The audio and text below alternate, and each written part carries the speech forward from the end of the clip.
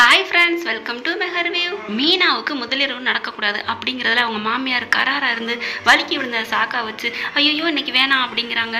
அதெல்லாம் முடியாது. அவங்களுக்கு நல்லா தானே இருக்குது அப்படின்னு பாட்டி ஸ்ட்ரிக்டாக சொல்லி முதலிரவுக்கு ஏற்பாடு பண்ணிடுறாங்க. வெக்கத்தோட நாணத்தோட போகிறாங்க மீனா பால்சம் போட அவர் உடனே மீனாவுக்கே குடுன்னு குடிக்கிறாரு. அதுக்கப்புறம் குடிக்கிறாங்க. வாயை தொடச்சி விடுறாங்க. நளினமாக பேசுகிறாங்க சந்தோஷமாக ரெண்டு பேர் இருக்காங்க. நல்ல மனசு போல் நல்லபடியாக ரெண்டு பேருக்கும் ஃபர்ஸ்ட் நைட் நடந்து முடிஞ்சிருது. அதுக்கப்புறமா நல்லபடியாக காலையில் குளிச்சு முழுகிட்டு அங்கே போகிறாங்க அவங்க என்ன ஒரு ஐடியா போடுறாங்க? நீ எப்படி எனக்கு ஃபஸ்ட் டைம் நடக்கூடாதுன்னு திட்டம் போட்ட? இப்போ நான் ஒரு திட்டம் போடுறேன்னு சொல்லி மாமியாருக்கு எதிராக ஐயோ காப்பாற்றுங்க ஆபத்துன்னு எதுக்கும் சொல்லி கத்துறாங்க. அதுக்கப்புறம் என்ன நடக்குதுன்னு பார்க்கலாம். இங்கே பார்த்தீங்கன்னா ரோஹிணியோட இங்கே பிஏ இருந்துட்டு சொல்கிறாரு அவங்க கூட வேலை பார்க்குறவங்க போல இருக்குது அவனுக்கு அவன் மேலே ரொம்ப நாள் ஆசை இருந்திருக்கு.